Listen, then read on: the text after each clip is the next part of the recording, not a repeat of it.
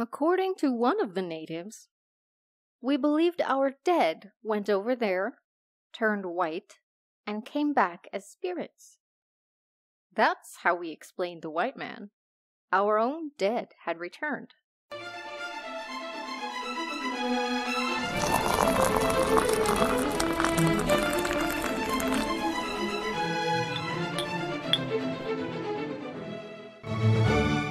Today's episode is brought to you in part by HelloFresh Canada. Are you struggling to spice up dinner time? With HelloFresh, you get fresh, pre measured ingredients with mouth watering, seasonal recipes delivered right to your door. Enjoy cooking and get dinner on the table in 30 minutes or less. With over 25 recipes to choose from each week, there's something for everyone to enjoy. All recipes are designed and tested by professional chefs and nutritional experts to ensure deliciousness and simplicity. For plant powered people like me, there are fantastic options like sesame peanut noodles and veggie burrito bowls with charred corn and tomato salsa. Though the ghost of Frankentito would very much prefer some cheesy Mexican beef. Go to the link in today's show notes to get $80 off, including free shipping on HelloFresh, the number one meal kit. Welcome to the History Obscura reading room once again. I had a great time digging through the secret library this week and found something delightfully obscure to share with you. Once upon a time, in the 1920s, the large island of Papua New Guinea was inhabited by Australians along its coastal perimeter. Gold had been found there, but its resources dried up over time. That is when the Leahy brothers, from rural Queensland, went with Patrol Officer James Taylor to look for gold in the highlands they spent four years exploring the highland region. The mountainous area was inhabited, according to the colonials, because the landscape was too treacherous to sustain a community. The interior of the giant island is comprised of a mountain chain that runs east to west. Crossing these mountains is and was a daunting and dangerous task that makes for slow exploration. Daniel Leahy said, It was very, very hot when you ride up in the center. There was no way getting back, only the way you came. For about 90 miles, we had to walk to get to the place where we decided to cross the ranges. And then we had to climb up 9, 10, 11,000 feet. The reward in the end was when we looked down in the valleys below. It looked like big parkland, and it was quite obvious that there was a huge population because of the huge garden patches. They heard singing, rising up to the top of the hills. Clearly, there were hundreds of thousands of Highlanders in the center of the island. They lived in huts of timber and kunai grass, used stone tools, and fought with wooden spears and arrows. Just as the white settlers had been unaware of their existence, the Highlanders had no idea that anyone lived beyond the mountains. One man, who lived with one of the mountain tribes at the time, said, I was just a boy, already weaned from my mother's breast. I was with my father one day when I first saw a white man. I was so terrified I couldn't even look at him, and I cried. Another man said, I was only a kid when they came. We had just been defeated by our tribal enemies. We heard a strange story that a lightning had come. We thought these white men were lightning from the sky. People said, They are not of the living. They must be our ancestors from the place of the dead. We knew nothing then of the outside world, We thought we were the only living people. We believed our dead went away, turned white, and came back as spirits. The carriers had rucksacks on their shoulders, and our people said their wives must be in those bags, packed up inside. They wore red laplaps around their waist and a bayonet at the side. And our men said, The women must not look. They must have had huge penises wound around their waists and hidden under the laplaps. When we saw their trousers on their bodies, and thought they must not have body wastes in them because they were wrapped up so neatly, we wondered how the excreta would be passed. One of us hid one day and watched the white man excrete.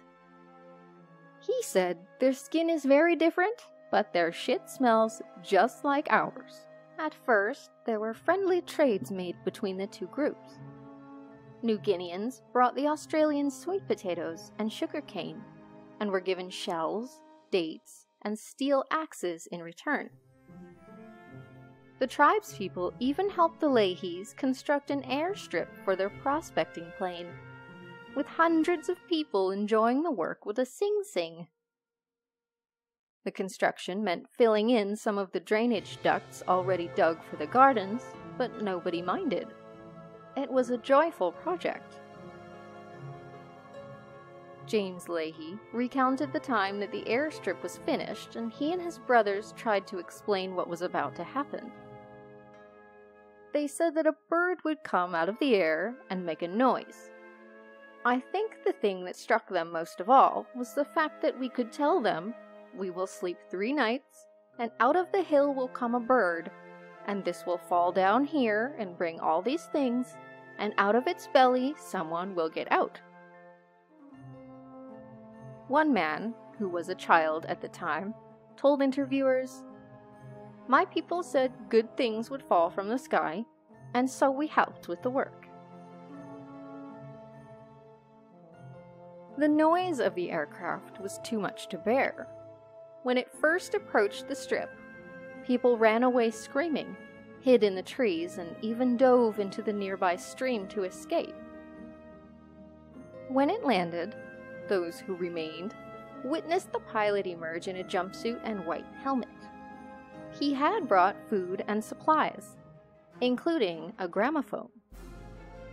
Said one witness, They wound it up and told us to dance to its sound. We heard its cry and thought it was a box full of ghosts. That wasn't the only thing that caught their attention. A shining lid from a can of tuna was so exotic and mysterious, one boy went out of his way to steal it from the spirits. When he brought it home to his family, they were so impressed that the boy's father fastened it onto a new headdress. Unfortunately, relations between the miners and the locals were not all friendly. According to one man, the initial confusion at seeing a white person soon turned to terror. We'd never seen such a thing. Did he come from the ground? Did he come from the sky? The water? We were confused. If we'd had any idea of him, we'd have known why he came. So we were confused. The white man thought our leader was going to attack, so he shot him. Daniel Leahy maintained that he and his colleagues and brothers never killed except to preserve their own lives. Nevertheless, over the course of several years in Papua New Guinea's interior, the prospectors shot and killed dozens of people. When members of local families were interviewed in the 1980s, they recalled their horror at the destructive power of the Leahy's rifles. One said, The white man accused us of stealing a lap lap. They came to fight us, but we stood our ground. The rifle fired, I saw nothing. Then, the blood sprouted out, and I was amazed. Two other men were shot dead. Their names were Kunduai and Mohawk G. When I saw what the bullet had done to me, I fell down as well. Tribal leader Pingeta was among those shot and killed. His son recalled, some 50 years later, that his father had his head blown to pieces. The documentary of this meeting, which took place in the 1980s, narrated the first contact between the natives of the island and the Australian miners with the following words A great day had arrived. The official opening is an occasion for celebration and festivities. You will understand how the native had benefited by these activities. A long time will elapse before he shakes off the shackles of barbarism, but his contact with the environment of white man not inevitably hastened his progress along the path to civilization. The Leahys remained in Papua New Guinea long after the discovery of more gold in the island's interior.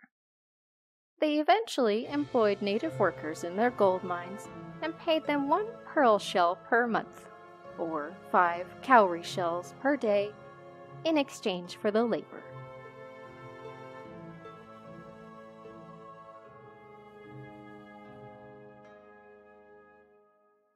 Thanks for listening. Please support the podcast by sharing episode links, liking us on Facebook, Twitter, and Instagram, and giving us a nice review if your podcast app allows. You can also donate a dollar to the show at buymeacoffee.com or patreon.com forward slash history obscura. Good night.